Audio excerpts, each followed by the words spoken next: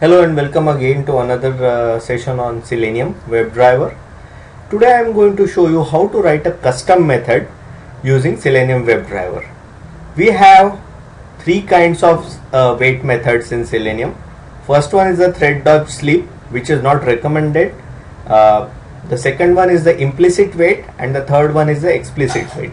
There is another one called the fluent wait which I have already discussed in my prior video. So today I am going to show you how to use uh, here I am using thread.sleep but in a different fashion. So uh, this one you can use uh, whenever you need uh, to write your own wait methods. So uh, I will take the same example the Gmail where you are uh, entering the username first clicking on the next button and then you are entering the password. So let's look at the code. Here I have a default package in which I have created custom wait.java which is which has my main method and there is another uh, class that is mywait.java which is called from inside of custom wait.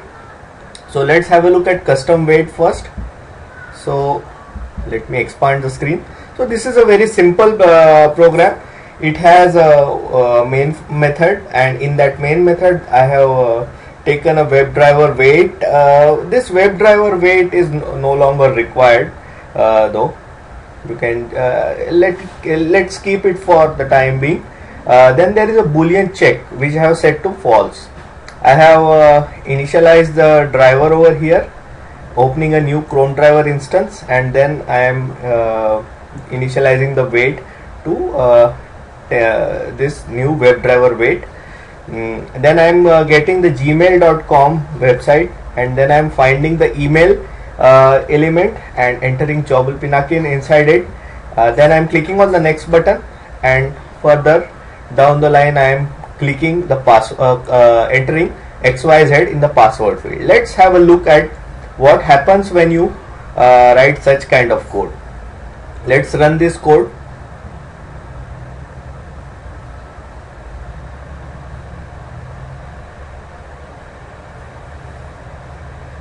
it's opening the browser session now.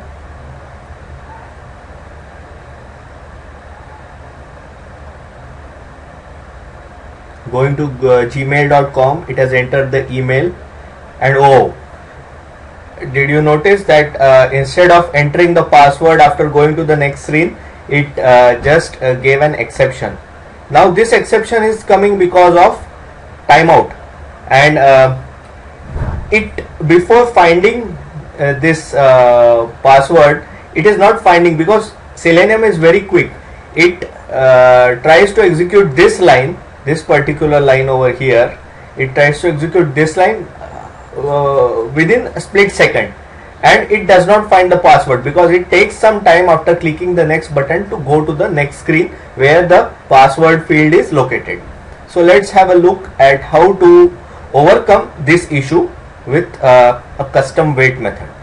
Now what I have done over here, uh, I have commented these two lines where I am uh, declaring a boolean variable uh, element where uh, it it gets the return value from my wait dot check visibility dot driver let's have a look at what check visibility is so control and if you press control and hover over here you will get this and uh, just open implementation so you go to this uh, class mywait.java and there you will find this method public static boolean check visibility where I am passing the driver instance and it is throwing interrupted exception. Since I am using thread.sleep over here, uh, it uh, throws the interrupted exception. You have to throw this otherwise the program will not run.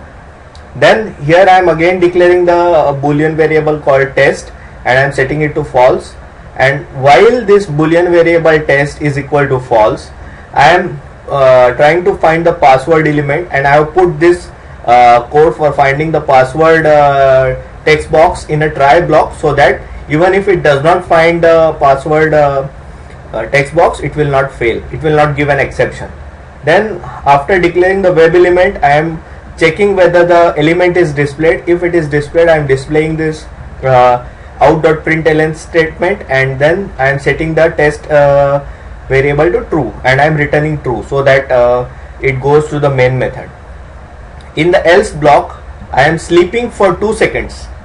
So I am utilizing the thread.sleep in a different manner.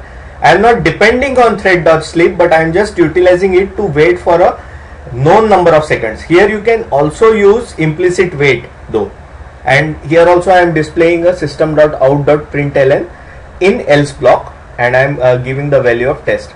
In the catch block I am printing in catch block and I am again displaying the value of test and finally at the end of this method I am returning the test uh, variable back to the main main method.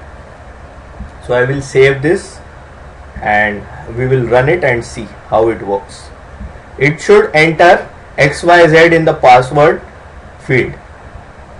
Let's try it out.